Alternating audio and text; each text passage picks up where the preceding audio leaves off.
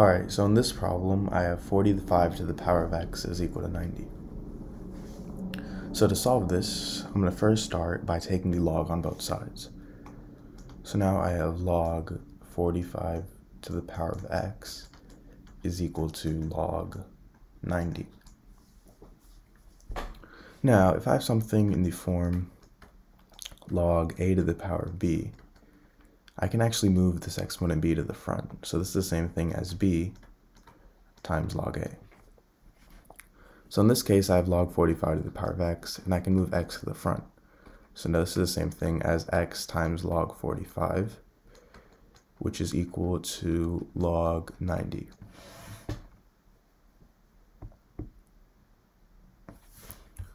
Now, if I divide both sides by log 45,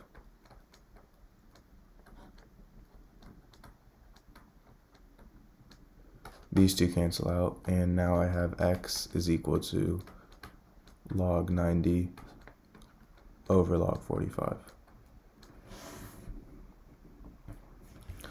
Log 90, that's the same thing as log 2 times 45. So I have this over log 45.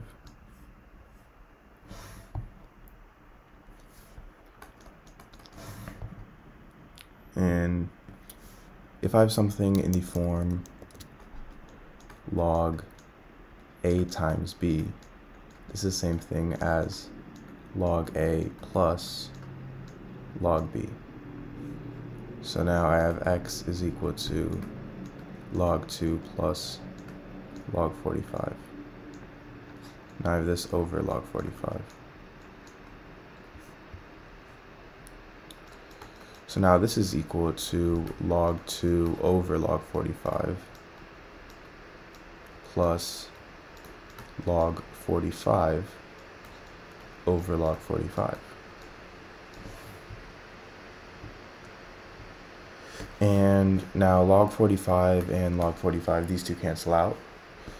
So now I have x is equal to log 2 over log 45 plus 1.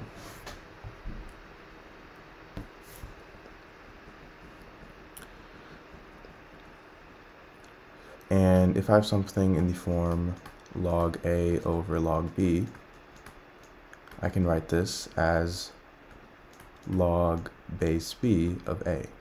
So log 2 over log 45, that's the same thing as log base 45 of 2, and I have this plus 1. Alright, so in this problem, I have 3 to the power of x plus 9 to the power of x is equal to 27 to the power of x. So to solve this, I'm going to first start by rewriting 9 to the power of x as 3 squared to the power of x, and 27 to the power of x as 3 to the power of 3 to the power of x. Now if I have something in the form a to the power of m to the power of n, this is the same thing as a to the power of n to the power of m. So I can rewrite these as 3 to the power of x plus 3 to the power of x to the power of 2 is equal to 3 to the power of x to the power of 3. Now I'm going to let 3 to the power of x equal to y. So now I have y plus y squared is equal to y to the power of 3. And this cannot be written as y to the power of 3 minus y squared minus y is equal to 0.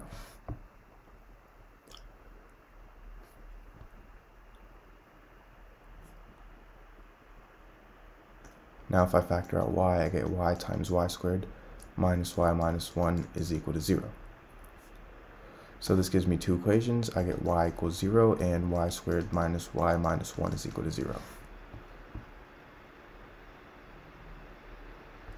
So for y squared minus y minus 1 equals 0, I'm going to use the quadratic formula.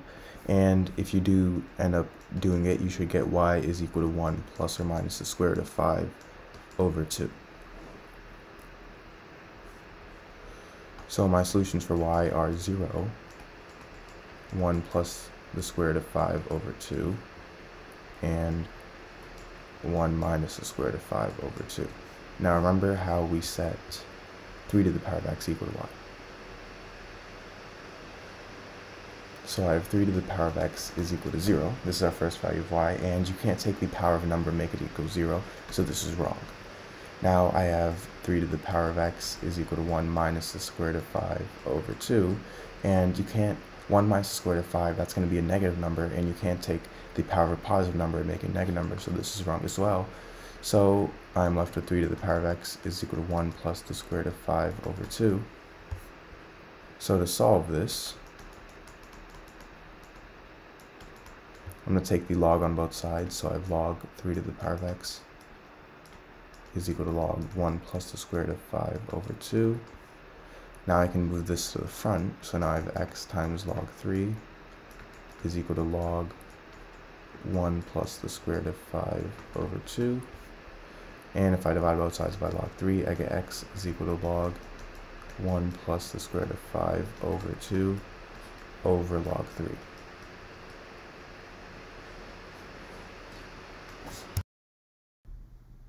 Alright, so in this problem, I have 3 to the power of x plus 3 to the power of x plus 3 to the power of x is equal to 9 to the power of x. So I'm going to first start by factoring out 3 to the power of x. So I have 3 to the power of x times 1 plus 1 plus 1 is equal to 9 to the power of x. Now, if I simplify this in the parentheses, I get 3 to the power of x times 3 is equal to 9 to the power of x. Now, 9 here is the same thing as 3 squared. So now I have 3 to the power of x times 3 is equal to 3 squared to the power of x. And if I have something in the form a to the power of m to the power of n, this is the same thing as a to the power of m times n. And m and n, well, I can change the place of these two. So this is the same thing as a to the power of n times m. So if a to the power of m to the power of n is equal to a to the power of m times n, then a to the power of n times m, that should equal a to the power of n to the power of n. So 3 to, the, 3 to the power of 2 to the power of x, I can switch the places of 2 and x. So now that's the same thing as 3 to the power of x times 3 is equal to 3 to the power of x to the power of 2.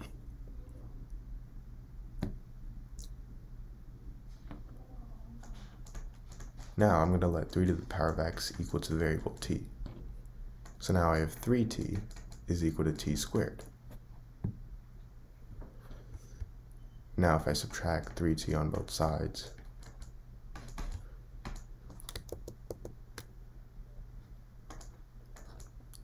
I get t squared minus 3t is equal to 0. Now if I factor out t, I get t times t minus 3 is equal to 0. So I have two equations now. I have t equals 0, and I have t minus 3 is equal to 0. t equals 0 is already a solution for t. t minus 3 equals 0, meaning t is equal to 3. So now remember how we set 3 to the power of x equal to t. So I have two equations. 3 to the power of x is equal to 0, and 3 to the power of x is equal to 3. So for 3 to the power of x equals 0, well, you can't take the power of a number and make it equal to 0. Nothing to the power of anything is equal to 0. Now 3 to the power of x equals 3, well, 3 to the power of 1 equals 3. So x is equal to 1, and this is my answer.